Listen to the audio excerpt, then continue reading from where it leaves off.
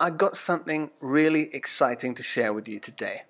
Now, pretty much every time I teach a workshop, I have people ask me about the shoes that I wear, which are called Sockwa, by the way.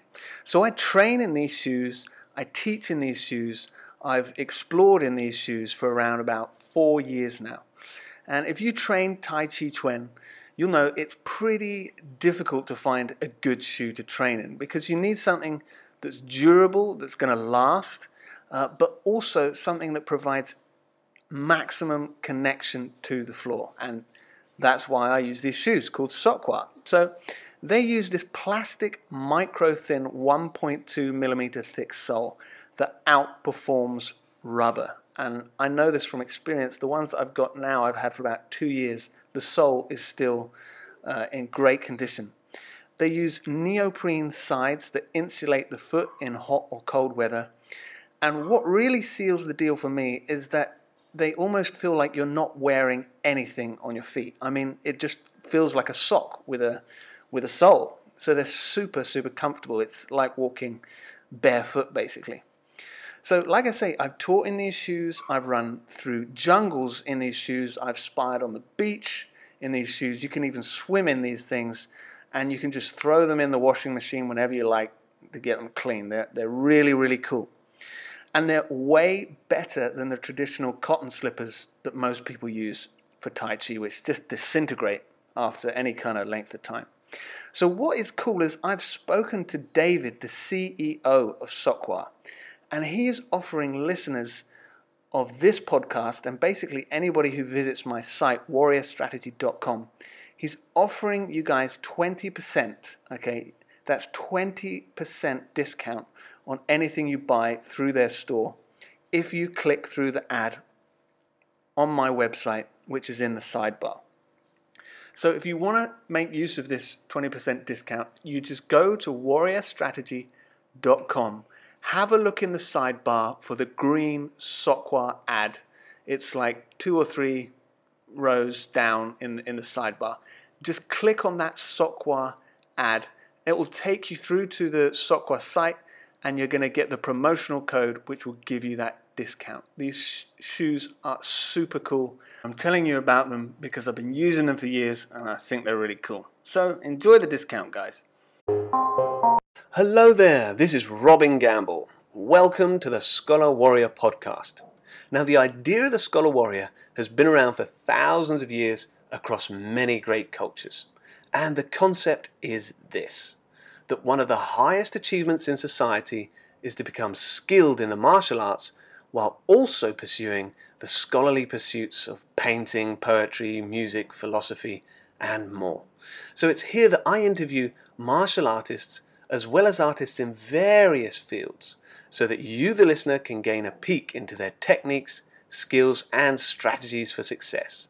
And so that you, the listener, may gather these gems and apply them on your own path to self mastery and excellence. Enjoy. I enjoyed recording this episode with Ken immensely. And you'll probably notice and feel that this interview is a little different from most others that I've done. And that's because most of the time I record a podcast over the internet. And with Ken, we were face to face. In fact, let me paint the picture for you just a little bit. Imagine Bangkok. It's a tropical metropolis uh, that pulses with life and sound. Motorcycles weave through traffic, horns beep. You can smell street food being cooked on many street corners, and you can often hear the construction of the next skyscraper going up. So, with this background, I journeyed across the city in a taxi to meet Ken uh, in his apartment. So, his apartment block was off a busy road, very typical Bangkok. And journeying up his kind of nondescript concrete stairwell and then stepping into Ken's place, his apartment, was a trip because it's just not what you expect. It's really cozy and it's decked out with wood, and it basically feels just like the cabin of a ship. In fact, that's what he calls it. He calls it the ship cabin. Uh, it's it's really otherworldly, and the view is a treat too because miraculously, instead of skyscrapers, there's greenery and actually a winding river that you can see from his window with a Thai Buddhist temple on the bank.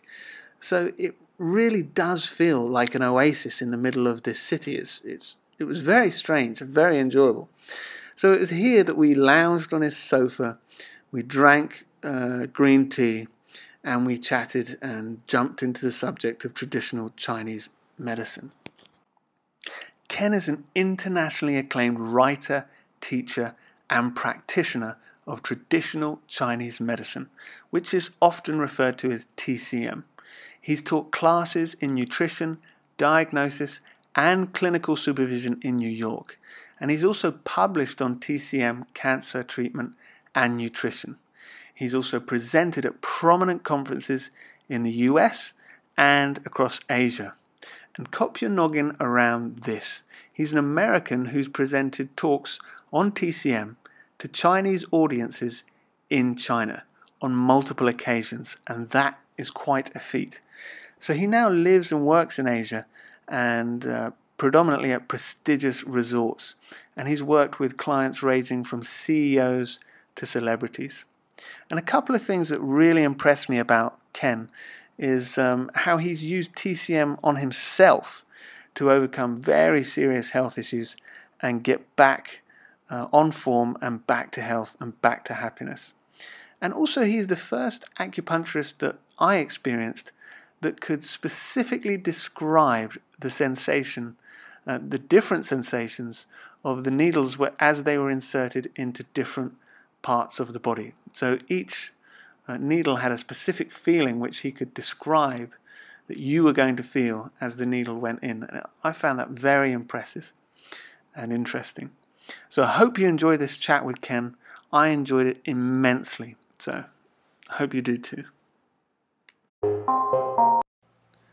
So here we are in Bangkok in Ken's apartment overlooking uh, a river.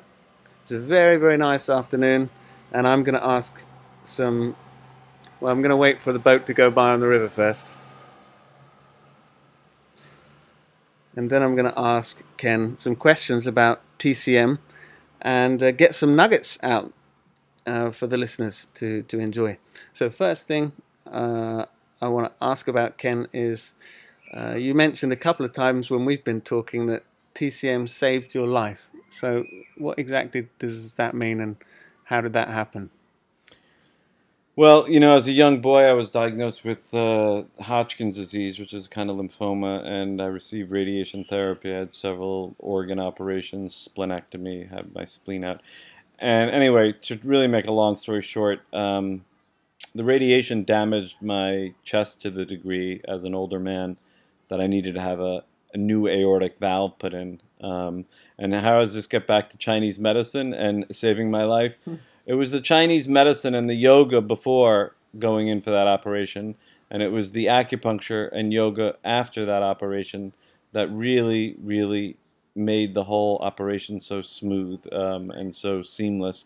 And um, continuing today, acupuncture not only helps me professionally in terms of paying the bills and all that business, but also just personally to sort of really help reset my nervous system in a very particular way so I can get quality rest or I can be active with good quality and my batteries stay charged. Okay. So when was it that you started really getting intrigued with with TCM and then actually taking up the study? So what was it that made you take the leap into into studying it? Sure. Well, as I said, I had a childhood cancer, and then years later, because of the radiation therapy, evidently, it's there's a high rate of thyroid cancer with with people that got radiation therapy back then. So they decided to take out the thyroid gland, and that little operation, which seemed like it was going to be so innocent, was very very hard, very hard. And it was after that that I said, "There's got to be a better way. There's got to be a better way of looking at the human body." Uh, and, and treating the human body and being proactive rather than just reactive because my whole health life or medical life to that point, to the 13 year old, was very reactive. And I wanted to sort of get in the flow, so to say. So that meant that you you did your research and you went to they call it traditional Chinese medical school. Yes. Yeah, yeah. I I thought about going and becoming a medical doctor. I thought about becoming an Ayurvedic doctor. I thought about becoming a homeopathic doctor. I thought about becoming a naturopathic doctor. Um, but it was Chinese medicine with its roots in in primitive science, a very old science that was based in yin and yang, and it wasn't so dogmatic and, and rigid and structured that it could be used for almost anybody, really, and it could be used to be interdependent um, and, and really catapult people into the right flow for their lives. So, can you remember the, when you first walked into your a traditional Chinese med- medical class, and was there kind of uh, obviously the theory is very different from Western medicine. Was it was it shocking, or was it something that you already knew about? How, how did it feel the first kind of week of classes or, or something? Oh, it was it was completely shocking. You have to understand, I was coming from a New York film world, film production world, and I had driven across the country to California, which all the loony bins live out there, right? So I drove out to California, and I was studying this weird thing called Chinese medicine. Remember my father even saying, you know, if there was any proof to that, you know, it would be bigger around the world or whatever. And here we are today, and how big is it around the world and getting increasingly bigger? And the reason why that's true is because people are getting results. So you can go to England and find a really good acupuncturist. You can go to Italy and find a really good acupuncturist um, it, it is a global medicine, and, and that's what really hooked me in. I think was that it was based on being proactive, and um, so when I walked into the class that first day, I remember looking around and seeing people with with tattoos and and and you know piercings on their tongue and and all this sort of stuff, and I made my you know usual human judgments right away, which were not pretty. Um, but then I realized that everybody has something to offer, really. So the girl with the pierced tongue, she's looking for the same thing I'm looking for. Maybe she's had her own health challenges, and that's what brought her into Chinese medicine. I don't know, but it was it was a, it was a challenge to learn the medicine for sure because it is such a different way of thinking, a different perspective, and it was it was you know it didn't make sense that you put a needle down by the foot for a headache it didn't make sense, or back pain. It didn't make sense to me. And I can't say it, it completely makes sense now, but through 20 years of practice and seeing the results over and over and over and over and over and over again, I must say I'm 20 times more impressed with Chinese medicine today than when I first started uh, studying it. When I first started studying it, I was a skeptical New Yorker um, and today I can really talk with you now saying I'm, I'm a, a mid-season practitioner. I would say mid-season, I'd like to say. so was there, uh, I mean, you, you've mentioned over the years you've, you've been impressed over and over and over again. Was there a first time that you got a treatment or gave a treatment and there was such an improvement that it it it kind of burned into your memory early on. Was there any initial treatment that really hit home? Yeah, sure. There, there were a couple. One for myself, the first time I got it, I don't know what I didn't know what the guy was doing to me. I mean, I hadn't felt that peaceful inside in my whole life, and you know, he helped my back pain, so that was interesting right away. And then after 9/11, of course, I was uh, you know near near the pile, as we referred to it, and I was treating rescue workers, and I could just see that, you know, one or two points in the leg was taking away shoulder pain. One or two points in the leg was, you know, helping necks, helping sleep. Um, so that was impressive. And then um, another treatment I gave that's sort of a legendary treatment for me was this this this um, this friend of my sister's. Her mother was getting older and she was starting to hallucinate really badly and um, really very angry and um, I needled two points to help calm spirit in her ears only. And she started frothing at the mouth like it was a, an exorcist or something. It was really scary. And this was early in my career, very early in my career. And it was a hot attic in New York in the summertime, and she was frothing at the mouth, and she was an elderly lady, and it was quite scary. And the, my my my sister's uh, friend said, "Don't you think you should take out the needles?" And thank God, even early on, thank God, something told me, "Don't, hang in there, be strong. And I did, and I think a couple minutes later, after she said, Do you want to take him out? I said, No. A couple minutes later, a, a wave of peace came over this elderly woman's face, and she seemed really at peace, and she wasn't frothing at the mouth. And from what I hear from the daughter, she never again had another hallucination, and she was really sharp right up until the end, which was a long time. It wasn't. It wasn't. Uh, it wasn't an imminent demise at all. Um, it was a long time before she really passed on, but she was really in her head and really lucid, and th- that's what meant the most to the daughter, of course. That's a pretty dramatic. That's a pretty dramatic story. Well, there's a lot of those stories in this business. I think in any any practitioner for sure. Right. So. Um, do you know what, what, what occurred in, in that instance from a from a from a traditional Chinese medical perspective? Sure. Well, I would say that would be um, that would be phlegm obstructing the heart. That's the simplest way of putting it. It would be phlegm obstructing the heart, and the phlegm harasses the mind and the shen and, and the spirit and then you get all these signs of sort of manic, crazy behavior with a lot of phlegm. Really, fire and phlegm would be psychotic behavior. Would be the combination of those two things, you know. And phlegm is just congealed dampness. And phlegm's not the best thing to talk about on a on your podcast, but it's important. It's important. It's important. So we we jumped into the to the jargon there, um, which I, I would presume that many people, if they've not uh, dabbled in, in traditional Chinese medicine, they'd probably be a little bit confused by now. That when when we're talking about heat and phlegm in the heart and stuff, that sound it's another language. It, it feels like another language. I would imagine for a lot of people. I remember the first time I heard that that kind of um, language. It was talk about damp in the stomach, and I, I was coming from a Western medical perspective. It just it made no sense to me at all. So, how about now we're going to jump into the art a little bit, uh, into the, the art of traditional Chinese medicine, and maybe just explain some of the, the major, major, major concepts um, which are going to hopefully be of benefit to, to people, and then they may know a little bit more about what, what, what we're talking about.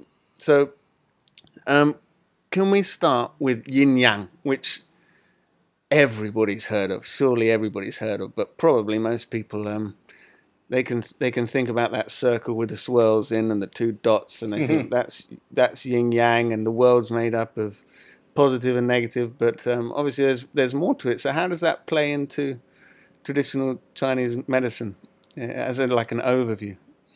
Well, it's the basis of all Chinese thought and all Chinese medicine. And and yin and yang, just to go over the characters very quickly. Yin shows the shady side of the hill, and yang shows the sunny side of the hill. So there's this idea that neither is just light on and off. It's not about that. It's about shade and sun and the interplay between the two. Um, so really, I like to think about yin as sort of blood and substance and muscles and skin and organs and you know matter yin is is that bone, you know, your substance of yourself, um, and then your your yang is your qi. It's your energy, and of course the character for in, in Chinese for qi, which is energy or breath, showed us a pot of rice cooking and steam coming off the rice. So there's this idea that some impression you get from the tangible, some impression you get from the material that sort of gives off an energy about it. And people are in touch with this. I mean, we're using funny words like yin and yang and qi, but you know, when you go pick fruit out at the grocery mart, you're you're trying to pick the best one, the one with the best qi, or vegetables, or the fish with the clear eye, or the you know whatever it is. Unfortunately, in this world, if you look at a you know a, a frozen dinner, you know it doesn't have a lot of qi, you know. But but food has qi. Real food has qi, of course. So, so we've got this interplay. It's an interplay of of forces. So if we're looking from from Chinese medicine, um, how is that going to affect the way we look at someone who's ill, for example? Uh, how does yin yang affect them or their problem? Well, I mean, I would say that that that there could be different areas of the body that are more yang, so we could look at it that way, or different areas of the body that are more yin, like the feet are more yin um, because they're lower on the body, whereas the head is more yang because it's on the, the top of the body. It's closer to heaven, so to say. And indeed it is. You stand up and it's closer to heaven. Um, but it applies to life because it's, it's this idea of balance, right? And that's what people want. That's what people want in their workaday lives, and that's what people want in their restful lives. They want a certain amount of activity, but then they also want a certain amount of rest. And I would say as we age, which I talk about quite a bit, is that we we we we develop a pattern of yin deficiency. We become sort of, we drain the batteries quicker than we can recharge them. So we get this pattern of yin deficiency, which could manifest with night sweats or, or feeling restless or uh, many different things. But that's sort of a global diagnosis of how busy the world is. You know, people always ask you, how are you doing? Oh, busy. It's not really how you're doing, but okay, we'll let it slide this time. No, I just think with yin and yang that, that, that that is the ultimate sign of balance in the Chinese system. And yes, they are two funny words, yin and yang, but you could also think about it as your heart filling up with blood and then your heart pushing around that blood. So there's this idea that yin is blood, its substance, its rest, its relaxation and whatnot, and yang is active and dispersing. You know, when the blood gets pushed around the body, that's more yang. And you could you could think about yin and yang in terms of your your lifestyle, and your exercise, your your religious life, you know, in terms of you know, do you need to do more active praying or more um, you know sedate praying, more reflection, or more volunteer work or something like that. Uh, it, it, does apply on many levels in many ways. And you know, I think people in China probably get their PhD in yin and yang theory. Um, I I don't aspire to that, but but it's it's it's a lifetime of my study. That's for sure. Mm. Okay, so then then we've got qi. Everybody is hearing about qi, and you've you've mentioned about uh, you know basically what it is, and uh, it, so it stagnates as well. It flows and it stagnates in the body, mm. right? And uh, so how does that how does that work into TCM? Well, chi again is that character of sort of energy flowing, and it's sort of like uh, there are meridians on the body that people have heard about, or channels, or rivers, or as my French teachers defined them in English, they said um, networks of animation. And that's chi. Animation is chi. Animation is yang. Animation is chi. Um, and chi is energy, it's breath, there are 10 different types of qi, which I'm not going to go into each different types of qi, but there's immunity qi, there's digestive qi, there's there's uh, there's many different types of qi in the body that that help do things. And qi has many different functions like holding things together or keeping things warm or um, so on and so forth. But the idea behind qi is it's this breath of life that's around us. Star wars does a good job with that with the force you know, it really is a good definition of chi in a lot of ways because it is everywhere and people do sense it. And if you feel somebody come up behind you when you're sitting down at a desk, you feel them, you know, and that's an energy. So people get it. People often, when they, they, they know about traditional Chinese medicine, they may just think that's acupuncture. That's putting needles in, in into people. Uh, but there's way more to it than that, right? And, and I've heard you talk about the five branches of TCM before, and I think that would be pretty useful to hear you freestyle on. Could you tell us about the five branches? I wish I could. I wish I could go freestyle on it. I'll try for you, Robin. Um, so yeah, the five branches were developed during the Han Dynasty in China, and this was a time in China when they wanted to get rid of all the shamans and the witch doctors. They wanted to have a structure of medicine that made sense and that was interdependent. It wasn't just about somebody doing an incantation and sort of trying to heal somebody. It was it made sense. It was logical. So the five branches, just quickly, we'll take a tour. We'll first style. So the first branch is lifestyle or exercise. Right? And this is this is really your art, which is great to learn learn some from you. You learn along the way. So exercise is the first and most important branch. And of course, they didn't have health clubs or qigong classes way back when, but people realized that there's something to good rest. There's something to good activity. There's something to good movement. Um, and there's something to being able to defend yourself. You know, they realize that your lifestyle is the first and most important branch to think about with your own health. And I, I regard that close to my heart to, to, to today. The second branch is nutrition, which um, is a huge field of study in and of itself, and it's the branch that brought me into the medicine personally. Um, it's what really got me interested in, in, in Chinese medicine. I'll just quote Michael Pollan because that's the simplest advice I can give your listeners about uh, nutrition, which is eat food, meaning whole food. Eat food not too much, mostly plants, right? So eat whole food, not too much, mostly plants. I think that's the simplest way to boil down nutrition. The third branch is acupuncture, which we've talked about these meridians in the body, these rivers in the body, these networks of animation in the body. And yeah, it didn't make sense to me when I first started going to school that you put a needle in the hand for the headache, but now it makes utter sense to me and, and because the proof has been there time and time again of either myself getting treated or uh, treating other people. And then the fourth branch is herbal medicine, which of course is what people know a lot about Chinese medicine because they think of the old herb shop in Chinatown with the drawers and the smelly things and everything else. And that's all part of it. You know, your roots and your berries, as we used to say in school, your roots and your berries. You know, that's all part of it. Um, I would say I'm probably an elder teenager in my herbal medicine practice. I use probably 10 formulas for most things that come down the pike.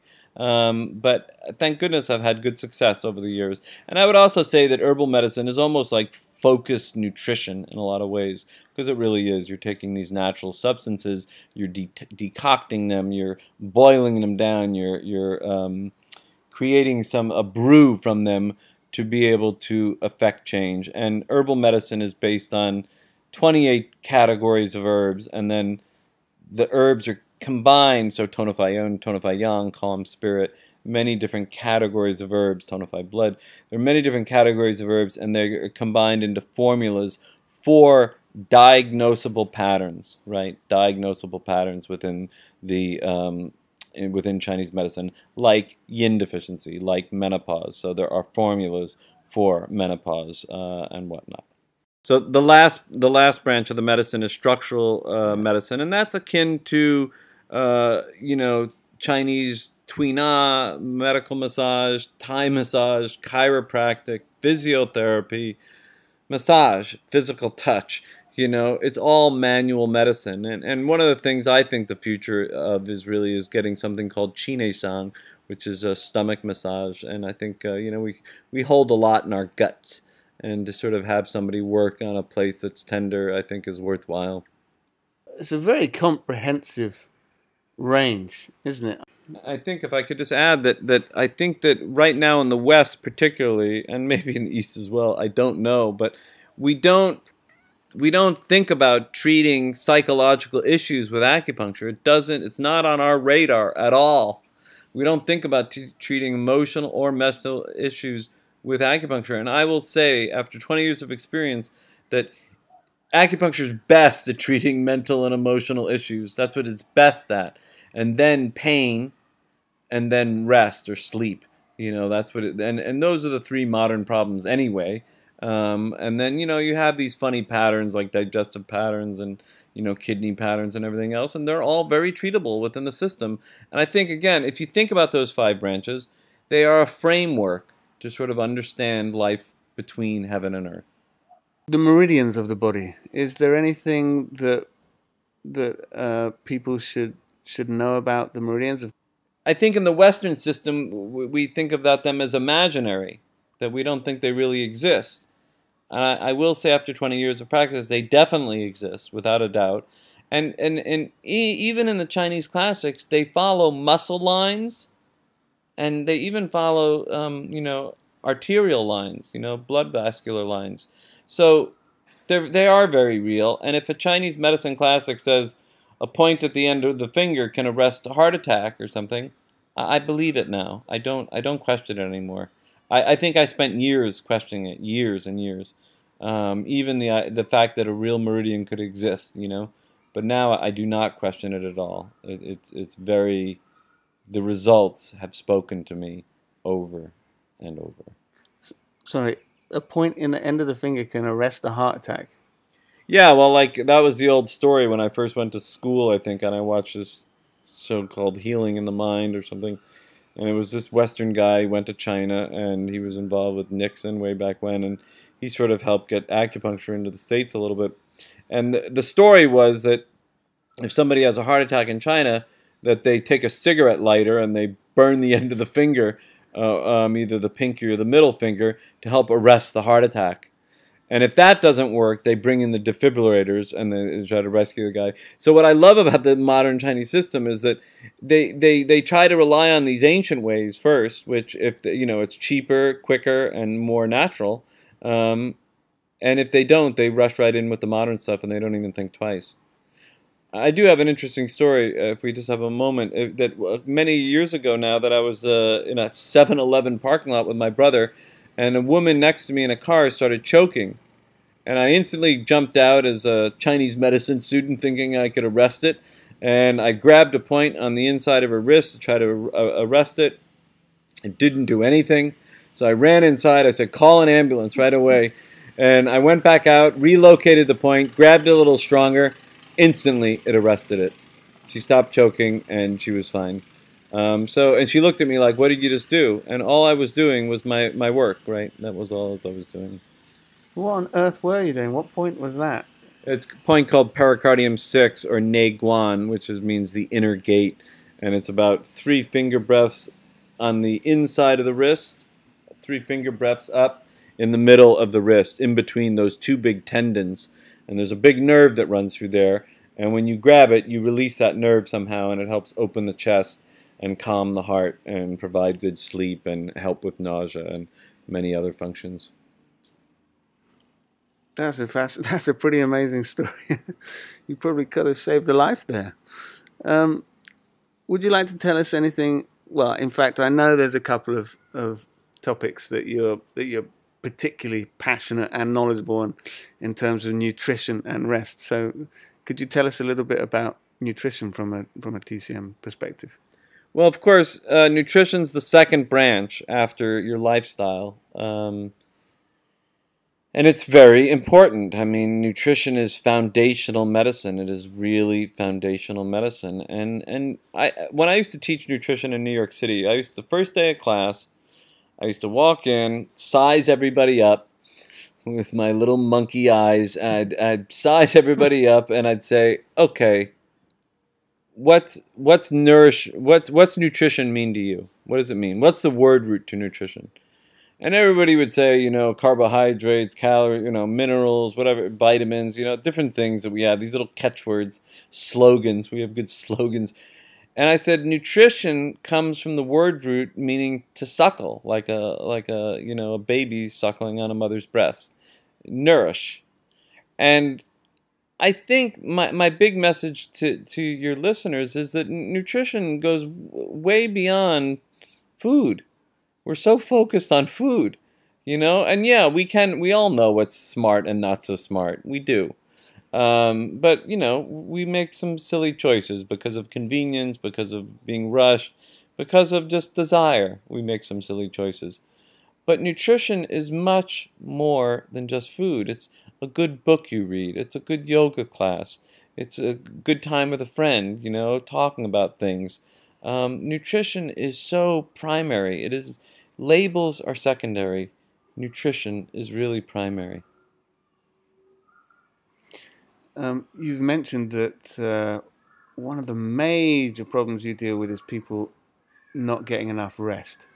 And also, I've read some excellent articles uh, by yourself, and one of them, one of them being on rest. And uh, I've found it very, very beneficial to understand more about rest and how to how to actually do it.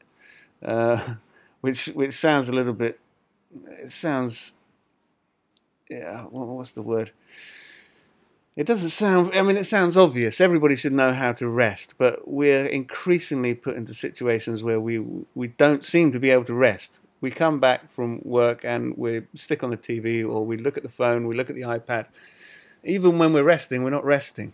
Um, so, what are your thoughts on, on rest and the importance of it?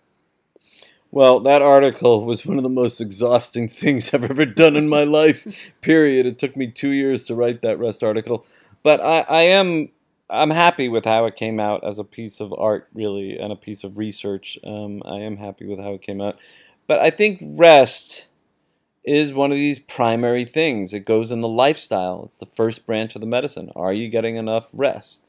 Um, and I think because of how fast the world has become. And, and I can't believe I'm even saying that because when I used to think about this, I used to think about the world was fast. But this is even 10 years since living in Asia. It's a faster place. You know, it's a faster place. So with everything revving so fast, our CPUs and our computers or our phones or our engines and our cars or whatever it is, everything revving so fast, you drain the batteries. You know, the old saying of burning the candle at both ends is a good one and an apt one.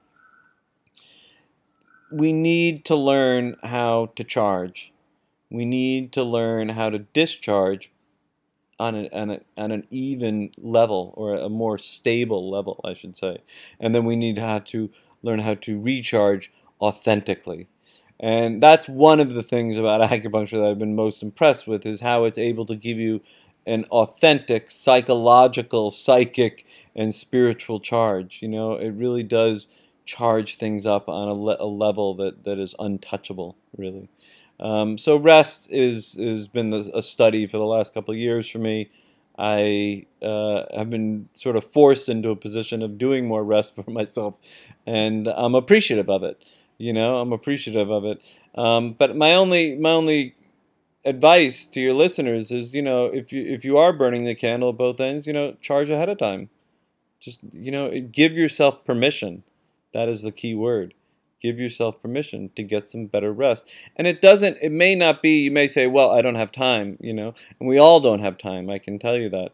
But what you can do is when you're out there in the yang, when you're out there in the sea of people, is you can find a moment to take a deeper breath to to unclench your brow, your eyebrow, to um, stare off and be in awe of everything around you. So, and that just reminds us, it's just a simple reminder that everything in life really is perspective. Um, and that we shouldn't take ourselves too seriously, and that we should just look around and, and be appreciative. There's a couple of um, phrases that that I've heard you use from from the Tao Te Ching, which obviously is very very famous, uh, or the foundational Taoist text from China, and um, I, have heard you use them a, a, couple of times, and I think they're really worth mentioning. And one of them was softness overcomes hardness, um, which is not only popular with people interested in Taoist thought, but also Tai Chi people like like myself, because it's been applied to martial arts as well. Mm. Um, but I heard you use it in reference to acupuncture, and I think it's pretty pretty interesting. Uh, could you could you freestyle on that? Sure, I can freestyle. But before I freestyle about the soft overcomes the hard with acupuncture, I think you know just look at male and female. I mean, uh, you know that's just very basic right. in terms of the soft overcoming the hard, um, for sure. It's just the most basic. Um, but acupuncture, it came to me a while ago because I have studied the Tao Te Ching for many years and I'm no closer to it, thank God, but I've been studying it for a while. And, and then I was practicing this form of, of acupuncture. I was practicing acupuncture and I was seeing that, yes, people, people may be hard and tense when they come in to see you in their shoulder or their back or wherever. But when you get that little needle in there, your body has no choice but to soften to that small little needle. And that's really explaining the negative feedback loop of acupuncture, where it sends a message and your body and your psyche and your, your psychology and your viscera can soften in relation to that small little needle in your foot Whereas your your you know the needle will not soften, your body will soften. So that's another example of the soft overcomes the hard. Another one uh, is is it soften the gaze? Yeah, that's one of my favorites. I'm glad you brought that up because I, I was trying to remember what I wanted to say when I talked with you, and that was the that was the saying that was coming up is soften your glare. Yeah. Yeah, soften your glare or soften your gla- uh, gaze. And yeah, it's oftentimes when I'm I'm doing little lectures or big lectures, I can look into the audience and see people's eyebrows that are tight. And you know, that's the face of resistance. That's the face of anger. That's the face of shoulder pain, you know. So, you know, soften your soften your glare. And you know, on the tube you have a choice to do that. On the bus, waiting for an airplane, you have a time to do that. There are times during the day that you can rest. Even in the midst of it all, there's still these little moments where you can find the eternity. So I'm going to ask you a few questions. Um, you know that someone may have if they were to come and see a, a, a traditional Chinese medical practitioner, and um, just see what maybe some of your initial words would be. So someone walks into you and says, "Ken, I am stressed. What should I do?" And of course, you can't give a full diagnosis. You'd have to see someone in person. But I'm stressed. What should I do? Well, I think again, just getting back to you know, stress is the opposite of rest. really, it, it sounds like it almost, doesn't it? Stress is the opposite of rest. So, I think it comes down to perspective, right away. Shifting your perspective and shifting your uh, perspective to a perspective of gratitude, um, as difficult as that may be at the particular moment. Uh, and then I would say that that breath breath is really, you know, your lungs are your intermediary organ between yourself and the world. It is your most direct connection to the world outside of you. So when you think about the heart as sort of the king in you, the lungs are sort of the prime ministers. And there's sort of that rhythm of squeezing out the air and gently filling up with the air helps calm the heart. And maybe your heart doesn't need to be calm. Maybe you need to go running. So you're, you're breathing faster and you're moving things. Maybe that's what you need. Or maybe you need to sit still and take a couple deep breaths. And that, that's the simplest answer for stress relief, really. Someone walks in, and this is, I think, becoming more and more uh, a factor in Western society, and they're depressed Well, there are several different diagnoses for depression in Chinese medicine, but um, you know it depends if it's frustration or over worry or overweight. There's there's different ways of looking at it. So it's depression's not just depression. There's different kinds of depression. So you need to really focus in on what kind of depression. And I think again, gratitude is the attitude.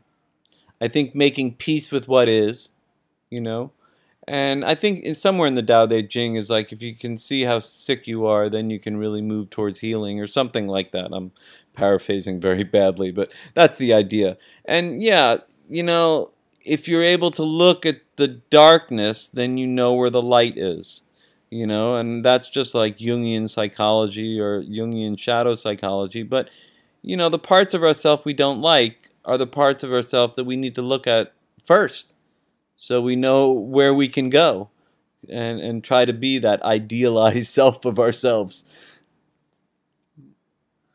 Um, this is a problem that, that uh, you know I've I've certainly noticed with a lot of executives that I teach and uh, people that are spending a lot of time at a desk, and that is office syndrome.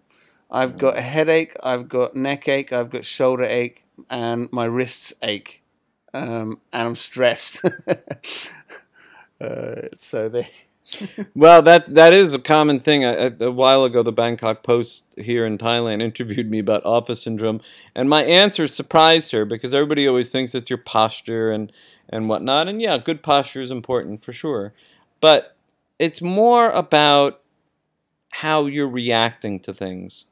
So if you're getting a bad email about something and you're subconsciously reacting to it, it's probably causing your shoulders to go a little bit up more by your ears. Like it's like a small car accident in your mind. It's like you're overreacting in your mind and you're resisting, is really the best word.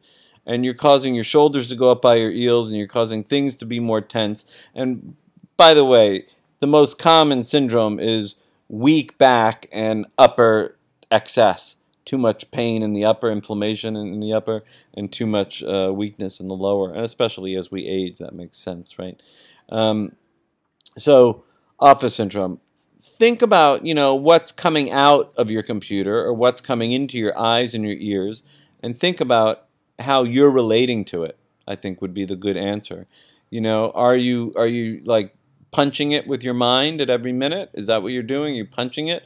Or are you growing around it and learning how to be flexible in the face of life's adversities, whether it be a bad email or a cranky colleague at lunch, you know? Simple stuff. So that brings us to the to the part of the show where I'm going to uh, just ask you some fun questions, quick fire, fun questions. You can freestyle. Uh, five minutes. okay. So uh, have you been reading these or not? No. okay. Not at all. all right. So, Ken, tell me something that's true that almost nobody agrees with you on. Sure. Uh, well, I would say that um, a lot of times when when um, nobody agrees with me on, I would say that uh, people people can over intellectualize things too quickly. Well, maybe everybody does agree with me on that, and that's just something cute I'm saying. Your favorite quote, if you have one. I do, I do. The, the one that came to mind was what my grandfather said, which is uh, do not do what you enjoy, but enjoy what you do. That's golden. That is golden. It, is that just your granddad, or did it? Yes, did, I don't know. It is my granddad. But, yeah. Well, thank you, granddad. Yeah. Um, what do you like to do in your spare time? Many things, uh, but I like to cook a lot. I cook a lot. I, nourishment is important, um, and I, I, exercise quite a bit. Um, I'm still active, which is great, and um, I do love to rollerblade. I like to rollerblade in cities. I've rollerbladed in London. I've rollerbladed in New York. I've rollerbladed in Bangkok. I, I do like rollerblading.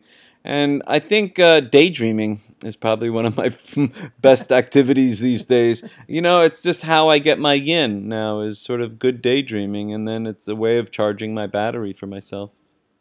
Favorite movie? Uh, Reds with Warren Beatty and um, I can't remember her name, uh, the Annie Hall girl, Diane Keaton. I'm sorry. Yeah, so Warren Beatty and and um, Diane Keaton.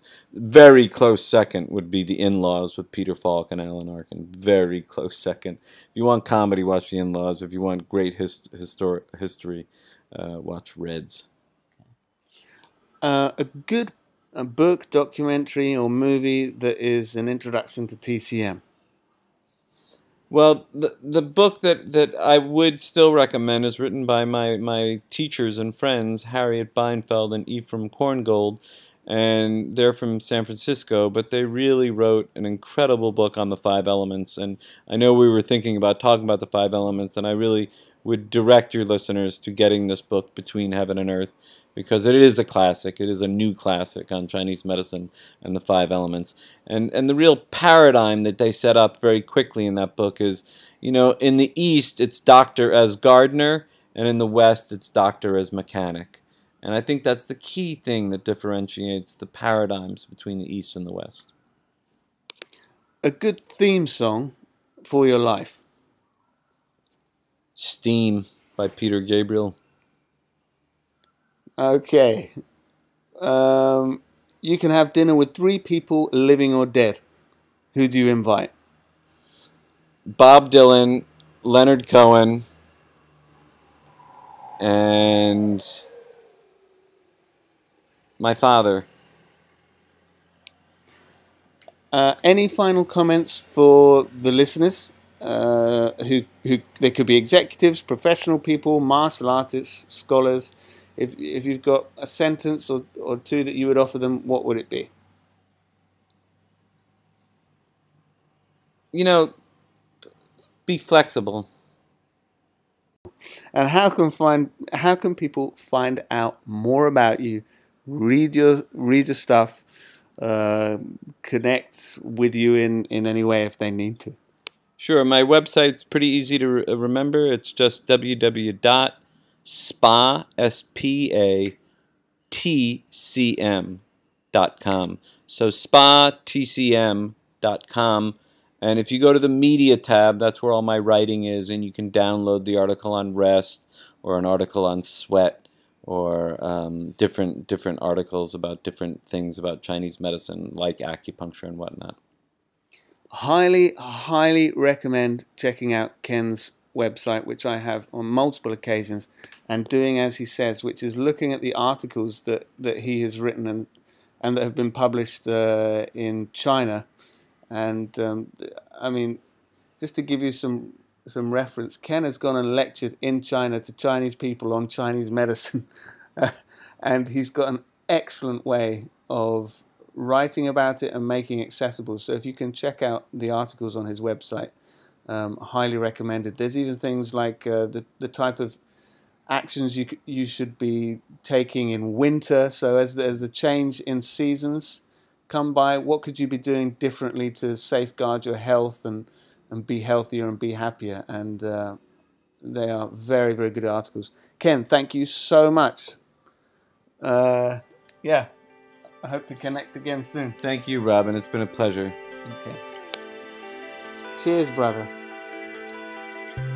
Hey guys and girls, before you go, I want to tell you about the Mindfulness for Modern Life bundle I've created for you. You can get this for free when you sign up for updates at warriorstrategy.com. Now, in this bundle, you're going to get an 8 Tai Chi Chuan Performance Enhancers PDF, a powerful Qigong video, and a mindfulness audio track. So, what are you waiting for? Head on over to warriorstrategy.com. Hey, this is Robin Gamble, thanking you for listening, hoping you enjoyed the content, and kindly asking you to share with your friends if you did. Thanks again, and see you next time.